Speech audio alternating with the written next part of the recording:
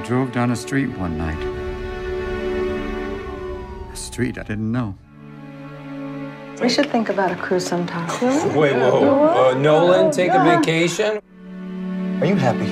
I mean, you've been here 25 years now, right? Almost 26. Must have thought about making a change from time to time. Nothing turned out the way I thought, I guess. And suddenly, I'm 60 years old. What, you want to give me a ride? Excuse me? Asked if you want to give me a ride. Sure. I don't even know your name. Leo. I'm Nolan. I'm really swamped at work here, and the only way to get through it is if I stay late. We have separate beds, separate lives, separate rooms. Why? I need to talk to you, Leo. I went out on a limb for Get out of my house. I'm just trying to help you. And... I tried to call you at the bank. Hey, princess. Where's my money? Hey! Leave him alone! my God, Nolan, what happened? I can't fool you, can I? No, you can't. I love you, Joy. That was never a lie. It's just time for us to be in the real world. Maybe it's never too late to finally start living the life you really want. How you doing? Thanks so much for coming. Dale, thank you so much for being here. Congratulations on the film. Thank you. Uh, this was completed. I mean, this showed at Tribeca in 2014, right? Yeah. So this this this film's been completed for for quite some time, right? Oh yeah, yep. Just over a year, but yeah, it's crazy. Um, did you have trouble finding distribution for it? Was it was it locked after Tribeca? Well, I mean, you know, it's it's you, you make a movie about a guy in his 60s coming out. You know, you're not going to beat Jurassic World this weekend. You know, so you you, you just sort of do it because you, you're hoping that something touched you. You know, and uh, and then you know uh, you hope that it gets out there, and here it is. You know, so. I don't know. That's the voodoo world I can't keep up with, you know. Absolutely. Uh, you know, you usually write your films, right? You're, or you know, you've written a few of your films. You didn't write this. How did the script get to you? What what touched you about it? Um, you know, I, I, I, I- was kind of, uh, you know, I just, just started reading. I read stuff, you know, and and uh, it, it kind of touched me because, uh, oh, you know, a lot of things, you know, um, uh, you know, well, like my, my parents got divorced when after like forty something years of marriage, and me and my sisters were like, "What are you crazy, ma? You know, what are you gonna do?" You know, and she's like, "Well, I'm not done yet," and uh, for whatever reason, that was in my mind while reading it, and and uh, you know, Can I ask, were, were they in a bad place, or were they just kind of like, I wanna I wanna try something new? I, you know, it, my father and me are similar. We could probably, he, he was happy sitting in Astoria for the rest of his life. My mother wanted to do a little more than that, you know? Um, uh, so, so it, no, it, it, it was in some ways, you know, what we tried very hard with the film was uh, I, I didn't think of the marriage was awful. I thought that they were loving and, and they loved each other, maybe not um, in the way that was going to work for um, the character Nolan. Um, so uh, that that was was maybe what interested me the most because if uh, if Robin Williams' character were say 23 and uh, he married at 18, this would be the story of coming out, and then you go hit Chelsea and life is good, you know. But uh, because of the ages of Kathy Baker and and the and, and and Robin's characters, it became more complex and uh, it was more for me the story of letting go than say coming out you know um, how do you let go of the love of your life it is the love of your, of your life you know um, they, they, they did love each other i thought so Oh, they absolutely loved each other, and it came across very tenderly, if not cold at times. But there, there was a tender relationship there between Kathy Baker and Robin Williams. Um, talk to me about how his relationship to his sexuality, because as much as he is, he's he's picking up a prostitute, and you know he's spending time with him and creating a relationship with him. It's not necessarily sexual, although he does end up sort of defining himself as a as a gay man. He's looking for something that is. Uh, I- mean, rarely we see the closeness that one feels with their sexuality rather than just the sexual aspect of this of their sexuality. Does that make sense? Yeah i mean you know uh, when we were in those there's scenes where um, they're in like a motel room together you know I, I wasn't even sure you know it was funny making the film um, uh, uh, it might be my ignorance but him being gay was yeah sure he's gay. He, he this could happen with a woman or, or a guy. I, I, although I believe the character was gay, um, uh, but uh, in the motel rooms when we shot those scenes, uh, you know, we would talk about it a lot, and it, it'd be like Robin. His thought on it, which I really liked, was he was looking at himself at 23 with, with the, the actor Leo, the, the character Leo. You know, like like oh my man, that could have been me. You know, like what did I do? You know, I could have had a V8, but you know, um, so so it, it was sure. You know, we, we, we had things where we, we messed with go, maybe it be a, a bit more sexual in there, and listen, we were going to get an R, and we weren't worried about pissing off the studios with this big, huge movie. Um, it just felt more appropriate that this was a story about a, a, man at his age looking at himself. To get into that motel room, man, we rewrote that thing 4,000 times because I was like, I don't know how he's going to walk in that door. You know, so it was much more about looking at you, all that's could have been, you know. Well, it's also looking at intimacy. Intimacy is more than sex when it comes to sexuality. I mean, the way that uh, Robin Williams' character feels when he's touching Leo, when he's ho- when he's holding Leo and wants to hold him. Uh, sure, it's an expression of his uh, uh, of his sexuality, but it's also an expression of how he gets intimate with someone and how he hasn't experienced intimacy in such a long time. And this character Leo can't experience any kind of intimacy because he's protected from it.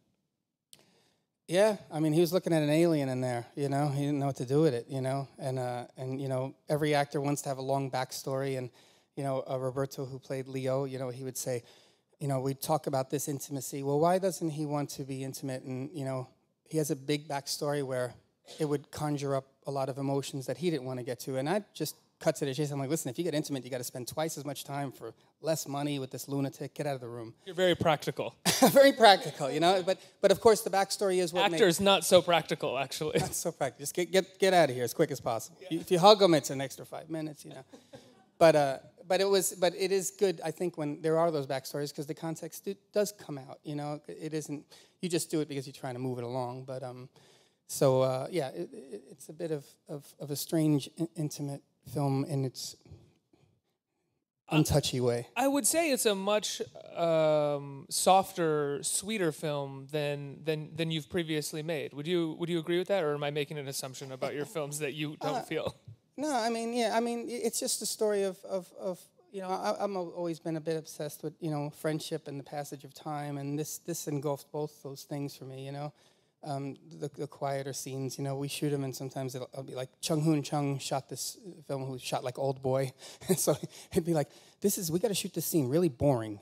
he'd be like, well, "I just it's boring." You know, it's, it's, borders on boring. You know, because it's so we tried very hard to make it feel honest. You know, and you know you when you have good actors like Kathy Baker and Bob Odenkirk and Robin Williams and all, you know, you just I'm going to trust their eyes every once in a while. You know, so it was kind of fun in that way. Yeah. Robin's doing a, a, lot with this character in this film as well. It's clear. It's all in his body. It's in his eyes. It's in the way he talks. You know, the, I I noticed at one point in in in the bank. He has this cell phone that he's waiting for a call from Leo, and just the way Robin picked up, delicately picked up the phone and kind of walked out, it was so specific to this character. What kind of conversations did you have with him prior to shooting, while shooting, about mannerisms, about body language, or was it just what he brought, and you were kind of like, "Go, all right, Robin, go ahead." Yeah. Well, with with a, an actor like him, you talk a lot, a lot, you know, and it's and it's kind of great, you know. I mean, you, you, think we talked about this, but it's like you got a guy who's won Academy Awards. He doesn't need this little movie. He's done everything, you know. But we were shooting in Nashville, and two in the morning, you know, movie Weird World, you get a lunch at two in the morning because you take an hour break, and he'd be like, we, we got to talk about this next scene. Let's take a walk. I say, okay, you know, and we'd be walking 20 blocks in Nashville, two in the morning, and people are like, yo, Jumanji, or whatever, you know. And he'd be like, I got a new job. And then, he, so, so it, it's kind of, but he, he, he was very specific about everything, you know. I mean, it, it was really mind blowing to me because I could talk about it all day long, you know, I'd talk about anything to these guys, but specifically, if we're going to talk about a role or, or a scene, it was really fun. But I don't think he was overly calculated about what he would do, but he would think about it all, you know, and he'd be in that room when Bob Odenkirk showed up, who's an incredible actor, and you know, um, a, a fellow comedian as he he was. You know, like they had never met, so right away they would start, you know, maybe joking a little, and then he'd walk over to me and he'd say, "What was I just doing?" And I'd say, "You were just in a motel with a with a young guy." And he'd be, like, "Okay, no more joking." You know, so you know you check in, and and he ver- very much interested in what he was doing. When you go into making a small movie like this and you get someone uh, big like Robin Williams to, to, to sign on, you know, obviously that helps get the movie made. Uh, it's exciting to have someone like Robin Williams. Do you fear getting on set every, every now and then that this person's going to be too big for how small your movie is? That they're not going to sort of want to have those long walks with you? They're not going to want to have these these long discussions. They're just going to want to sort of, you know, bust out the scenes as quick as possible, get the day over. Well, you know, you kind of trust that if they're going to do this little movie, they're not doing it for the money. Promise you that, you know. And uh, um, you know, he's a weird guy like that. You know, like every generation has grown up with a different Robin Williams, and we all it's it's hard pressed to find people who don't like him. You know, you know, I always think, man, famous people today, man, you got like forty percent that hate you, no matter who you are. He's a pretty high ratio of people who love him. You know, and and I think, but for some strange reason, y y it, at least for me, like I kind of bought. Yeah, he, he, I don't know how a guy that famous. I'd still believe he works in a bank. it's tough sometimes where it's like, come on, you know, you're not in a bank, you know. but uh, with him, I, I, I, I don't know. Well, he's not doing impressions and he's not doing like you know Mork inside the bank or anything. Oh, you know, you know, you have to be there. But, uh, but um, yeah, you're right. I mean, and, and he's doing this film thinking very much about, well, let, let's try and get it right, you know. So Now, when you uh, you finished the film, he got to see a, a cut of it or the final cut before before he passed away, right? What what was his response? I mean, I, he, I would save him, you know. He'd be like, "We got it. It's really good." you know, we, we would talk. I mean, we had 20 cuts before it was done, and, and uh, he did see the final final, but you know, he had lots to say as we'd go and putting scenes back in. Well, let's try that one. You know, it was it was pretty great. And, and So he was a real collaborator, even even through post. Oh yeah. I mean, he want to see it all. You know, he'd be like, "How's Kathy coming along in it? Is, is she happy?" You know. So, uh, so very caring. You know. And um, how how how far after the film was it that he that, that he passed away? Yeah, I'm bad with timelines and all that. I'm not entirely sure. I'm just glad that we all got to see it together. Yeah. What was it What was it like for you hearing that he had passed away and you had just made this really somber, sweet movie with him? Obviously, it's not about him and he's playing a character, but it's in. You know, I I I was watching the film with someone last night, and within the first two minutes of that music and him driving down the street and he has this somber look on his face, she said, "Oh my God, this is so sad." Nothing had happened yet, you know, and she was she was she was almost moved to tears watching this Robin Williams drive down the street with sad music playing. I mean, do you do you worry that people are going to be able to de- detach themselves from the real Robin Williams to the Rob to the character in the film, or do you not want that? Oh, who knows? You know, I mean, you know, like I was saying, people play Pink Floyd and think it has to do with the Wizard of Oz. I mean, you know, uh, I mean, he, I think every great actor or anybody who's trying to do any kind of art always puts a bit of themselves in. You know, um, and that's the the the gifted ones know how to do that. You know, and uh, and uh, yeah, and as far as all that other stuff goes, you know, it's it's it's like you know, movies is like a weird circus life. You go and uh, and believe me, I did every job in the world, man, and it's a weird one, you know, because you you sort of meet somebody on a Monday and by Tuesday you're trying to tap into every emotional possible thing you can because you're trying to form 40 year relationships that are make believe, and then three months later you say cut or whatever, and everybody says see ya, and we'll run into you somewhere down the road. So it's it's uh it's like life really fast. So it's a it's it's always a weird deal, you know. Is it um, not offensive, but is it sort of a, a fallacy for for the job when someone assumes that you may have captured something about him that you didn't realize because of the tragedy that happened afterwards? Like I said, you know, we're living in the world of make believe, making a movie, and we're trying to tap into whatever part of your life or a story you know can relate to a character. So, so it's you know, it's an impossible thing to answer. You know, I, I'd bottle it if I could. you know, uh, it's it's uh, yeah, who knows? You know. Uh, you're also somewhat responsible. I don't. I want. I don't want to say you're responsible for the career, but you kind of discovered Channing Tatum, and you put him in in, in three Yeah. movies, right? Yeah, I love. Well, I didn't. I didn't discover him. I'm. A, I'm. I'm a fan, and I love him, and he's a maniac, and he's great. Yeah. What, what what was he doing when you when, when you first met him and you put him in Guide to Recognizing Your Saints? And what was it about him that you noticed, recognized, that made you want to put him in the movie? I mean, he's arguably one of the, the biggest stars in the world now. Yeah, he's which is really well deserved. You know, whatever. You, I mean, so corny. Come up here and say great things about people, but he's really is a sweet you guy. You can say great things about Channing Tatum. Everybody yeah, wants well, that. He, he is a great guy, you know, and, and, and I mean, you know, when I was making the movie, I remember he came down and I was thinking, oh man, the character that I had written then was this wiry, messed up, impossible to look at kid that I had grown up with that, that was a mess. And Channing was like this beautiful male model. I'm like, from Florida. I'm like, what am I, nuts, you know? And then, uh, and then he was he just sort of did something so special that for whatever reason when we were rehearsing like he, he, he found it so it was a kind of nice thing to mess with you know and he was dancing on set the whole time like what's this guy doing you know he's like doing some weird step up he was thing, you know? always dancing. well he, in between he'd be messing around i'd be like what's going on over there you know step up this little weird thing they're doing i don't know What made you uh, continue to work with him? Uh, you know, I, uh, well, I, you know, I'm a fan, and, and, he's he's one of those real guys. Seems weird, but you know, like I say with Robin as well, you know, like it's hard sometimes to separate such a famous person these days or whatever. You know, like oh, he wouldn't be doing that for whatever reason. For me, I I I, believed he was walking down 31st Street in Astoria, so I could sort of believe anything with him. You know, Well, he wasn't famous then. You could He wasn't, very yeah. easily believe that. right? well, I don't know. A guy looks like him, I haven't seen too many, but uh, but There's uh, not too many Channing Tatum's walking down the street in Astoria. Right. Oh, they're all over the place. uh, but yeah, but I think he maintains that quality, and it works, you know, with, with all his films, you know. And then uh, at the same time, Guide to Recognizing Your Saints uh, introduced Shia LaBeouf to the to, to the world in a Well, dramatic way. Yeah, yeah. I remember he was the guy from Even Stevens, and I'm like, that guy. Oh no, and and, and he. What was that response for Even Stevens? so what, what just happened? and, and he sent a tape because I said, "Oh, I don't know about the guy from Even Stevens," and I, I, I always doubt everybody. I'm crazy, and, and and he sent the tape, and I was like, "Wow, this guy's really good." They're like, "That's the same guy." I said, "Oh, snap!" So Wait, can we take a second? What is Even Stevens? Disney show. Okay, that's I, I knew A- he was in a Disney show. I just like didn't know it. the name of it. I could have assumed, but okay. so you for us in the know, you know. you big you big Disney Channel fan? well, you know, um, yeah. So so he so and so he's he's he's. I love that guy too. It's a whole other can of worms, but I love him. and He's great. Yeah. open open that can of worms. Just a, just give us one worm. Oh man, Shia. I, I I really do love the guy. I mean, it sounds corny again. I'm here like being the lamest guy. Believe me, I'll tell you who I hate.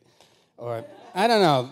We'll, we'll, we'll get. We'll, we'll- if you're gonna open that can of worms, gonna get to that. No, but I and we just me and Shia just did a new film together that we're finishing now. So that's how much of a fan I am. So you know.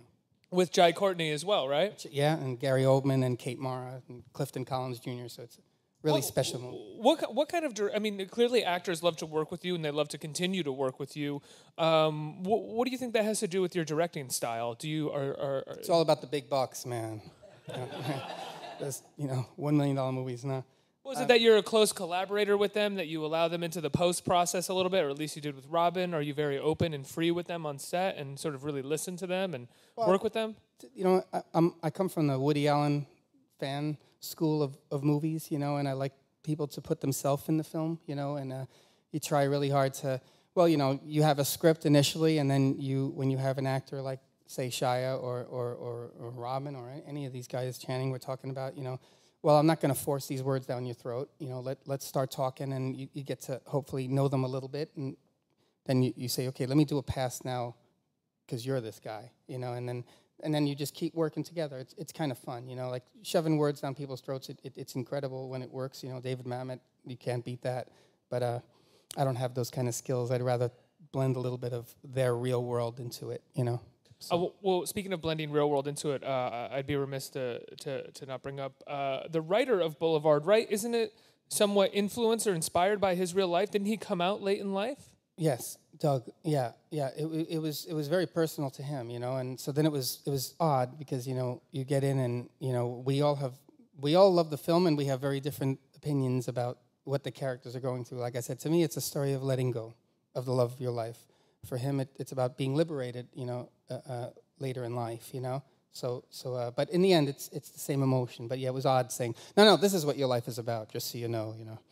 did you? I mean, uh, uh, to have a writer so close to the material, was he on set at all? Did you did, did you allow him on set? Did Robin work with him at all? Um, I mean, he came on set a couple of times, but it wasn't it wasn't overbearing. I mean, once once we started, you know, like I said, you know, you have you have an initial idea, and then the actors start bringing their truths to it. You know, Kathy Baker had lots to say, and she had a, a really interesting thought about her. You know, she's like, you know, me and you know, she takes it very serious, and she said, you know, we have an unwritten agreement, and he's breaking it. And I thought that was a very interesting way of thinking of the film. You know, um, it was a, you know, we had a lot of crazy things happen in this movie. so yeah. Wait, like what? what do you mean? All right, I'll give you something that's really yeah. What do you mean crazy things tripped happen? out? Well, you know, you, are looking for a house to film in, you know. So we were in Nashville, um, looking around, and we find this perfect house. That oh, the camera's going to work great in here. And then, strangely, the husband and wife there had separate bedrooms, which is a plus. Like, whoa, you know, you don't have a lot of money for production design, and she's a big reader, so it looks perfect. And then the wife came in, who lives there, and she looks kind of like Kathy Baker, which is getting a little more trippy, you know. And she's like, "What's the movie about?" And I'm like ah, you know, you're afraid to tell people because sometimes they'll be like, oh, no, no, no, no. Like, ah, it's about a marriage. And she said, okay. And then like two days later, she came and she was crying to me. I tell this story because she, she we did a Q&A at somewhere and she came up and told it, which is great. And, uh, and, and, and she comes crying to me and she says, you know, I read the script and, you know, my husband, he came out two years ago and we love each other, so we stayed together. I said, you got to be kidding me. And she said, yeah. And then, and then she goes, and you know, he looks a lot like Robin Williams. And he showed up and he looks just like him. I mean, it's insane. And, and I'm like, holy cow. And, you know, and then, uh, and so then she says, we just have one request. Can we be here when you film the, the, the big scene where they have a confrontation with each other? Oh I my said, God. It's trippy. So I said, okay, you know. So then, you know, we were shooting this scene and it's a pretty, pretty n- noisy scene between Robin and Kathy. They're getting into it and, It's a really well crafted, well written. It's my favorite scene in the film. I, I, I thought it was incredibly well done. Yeah, thanks. It was so so they're doing it, and then in the uh, and and then the other on the side, I see the husband and wife uh, who live there. They're crying, looking into the monitors with headphones. But you know, and I'm like, and Robin Williams came up to me. He goes, "This is getting a little too freaky for me now, man." so, so, it was pretty trippy, you know. And like the actors were cool with keeping having them there the whole time. They stayed there the whole time, and everyone was okay with it. Oh, it was so excellent because you know then we'll, it started to become like weird life because you know, Kathy Baker would come over to me and she'd say, you know, she's coming up to me and telling me that they didn't do it like this. Well, they're, they're wrong. I, I, do love him, and, uh, and she loves him, but she's just being more. I was like, whoa, this is getting really berserk, you know? but, you know, it just shows so that the uh, family who owned the location was giving your actor notes about their life. because it was and then it was really weird because then people started thinking we were doing the story of their life, and you know, so neighbors started showing up. It was, it was like a sort of Woody Allen movie happening behind our movie. Yeah. And that's one of those things that you, as a director, I mean, I'm sure you're having two feelings at that time. One of which is like, this is amazing. This is, you know, organic and spiritual. Like, what's happening? I could never have planned this. And the other thing is like, get out of here. I got to direct this scene. Oh no, I love it. The more chaos, the better. Yeah, it was, it was great. Yeah. I've been like, leave my actors alone. We have work to do. Well, they would ask every once in a while, you know, I, I, I don't, I don't want to hear anymore about how she doesn't, doesn't know. I knew Robin was gay the whole my whole marriage, and I'd be like, "But your marriage is fake. Their marriage is real." So, but it was great, you know. It was, it was but it was great because it complicated everything, and it made everybody feel like, well, maybe let me rethink this. So it, I like that being on your toes business, you know. That's incredible. Uh, let's let's take some questions. Who has who has questions around here? Um, I'm wondering what inspired you to go into directing, or who inspired you maybe to go into directing? Uh, man, it was a weird trip. I, I didn't ever dream to do this stuff ever in a million years. I wrote like everybody else does in napkins and little weird things that no one ever was going to see. And then I, one page became two, became ten, and a guy I used to work with at Tower Records published a book of mine that was written in pen that maybe sold a few copies. When I say a few, I mean a few, like possibly three or four. And, and then I had a job at this place um, working, and, and uh, Robert Downey was friends with the guy, my boss at the place, and we had become friends over the years. And, and uh, me and the guy in the dub room with me started cutting little weird two minute um, freaked out shorts that made no sense and, you know, Robert would come in and we'd say, "Hey, check this out," and he's like, "Oh, we should do a movie." And somehow we ended up doing it. I mean, that sounds crazy, but we we just talked and. I- INT back then meant introducing to me. I had no idea interior. You know, it's very weird way in, but uh, but uh, hey, a job is a job. I, I don't see I don't see Robert Downey looking at little crazy shorts anymore and being like, let's make a movie of that. No, I mean, you know, he is that kind of out there and, and, and, and creative guy that, that is down for who knows what. And it's nice that now he's Iron Man. Holy cow. Yeah. Uh, anybody have any more questions? We have some more questions around here. Right here. Hi. I'm curious to know if the tagline was in place before Robin passed away. Uh, never too late to make a U-turn. Um, well, no. I mean, not that I know of. I mean, uh, yeah, that's a funny tagline. I guess, well, he makes a U-turn in the movie, so that's why it's there, right? Um, no, I, I, no. I mean, not that I know of, but I mean, I, I, I- guess I understand. You know, we have, like I said, the writer and I have, have very differences, not very strong differences, but we have different thoughts about the film. You know, for him, it very much was about you can, you know, you can change at any time and, and, and, and make a huge turn, you know, and, and uh, I would think when I first read the script, they're saying, like, my parents divorced in their 70s, and I remember, like, like you know, when later on, after they passed, me and my sisters were like, maybe mom and dad would have been happier if they stayed miserable with each other. So, uh, so my thought is more about letting go, but, um, so, I mean, that certainly is a part of the film, a, a, probably a bigger part than my weird There was an issue with the, or not an issue, but there was something within the marketing and I read recently where the marketing team, you know, without talking to you, had sort of put Robin's death in, in into the trailer or something like that, or in, into the marketing of the film, used it to market it a little bit. Oh, I don't know about that. I hope not. I misread an uh, article yeah, early yeah. yesterday. Oh no, I can't imagine that. I mean, you know, I mean, who knows? You know, everyone says what they say. You know, it's just you make these things. I- It's the movie that we all wanted to make. I know it was what we planned to do. It was finished um, before any of this horrible stuff. You know, and uh, and now it's out there. You know, so uh, you can see it. That, I mean, that's why we made it, so people can see it. Hopefully, you know. Any more questions? You have a, right here, back here. Yeah, this may be a little obtuse, but as a director managing, and you've managed all these different people, your particular strength, do you draw on the cerebral and the intellectual to manage and motivate actors and crew, or is it position and power, or is it compromise? When you're trying to achieve a certain goal in a scene or following the thread throughout the whole movie. I mean, am I making sense? I'm like, you know. Oh, I'm always I'm hard to understand anything. chi- but- I'm, I'm kind of a slow child. hey man, join the club. I- Is the question of whether or not your vision gets compromised when you're managing so many so many people? come from a, a position of strength, like you're the boss? Is it cerebral, where you try to leverage your knowledge and what you understand? You try to draw out? Do you compromise? Where Well, do you find your strength? In, Yeah, compromise is a weird world word, you know, world too.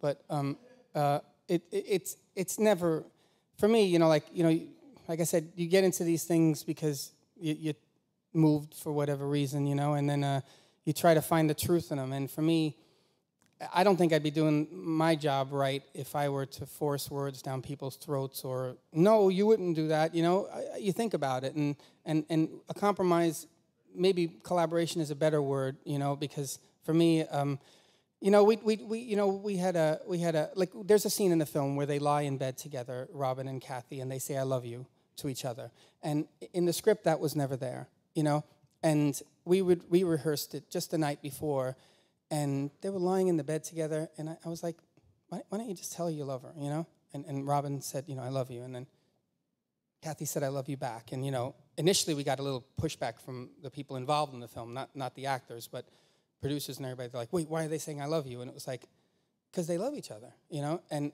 it, it became very poignant i think you know and i thought it was important you know uh, uh, so those kind of things sometimes just happen it's not like we're trying to say screw you, we're going to do what we want. It was just like, well, let, us give it a shot. And it was like, well, you do love each other. And it's not saying, I'm not gay. It's just saying, yeah, I love you. They- you know, so uh, I'm sounding really corny up here. But uh, it, it, that, that's what I mean about collaboration or, or, or creative. You're, you're just going with the flow, you know, when you're making a film in a lot of ways. You sure you have your script and it's a really nice blueprint, you know, and then you go out there and you say, okay, let's see what happens. You know, somebody walks by with 15 chihuahuas, get them on the camera, you know. So, Any more questions? not in that scene, but yeah. Back to me. No more questions? Well, uh, I think that's it. I think we're good. Dito, thank you so much. Thank you. Congratulations on the film. As I said, it's very sweet. Very Thanks. sweet. Thank you.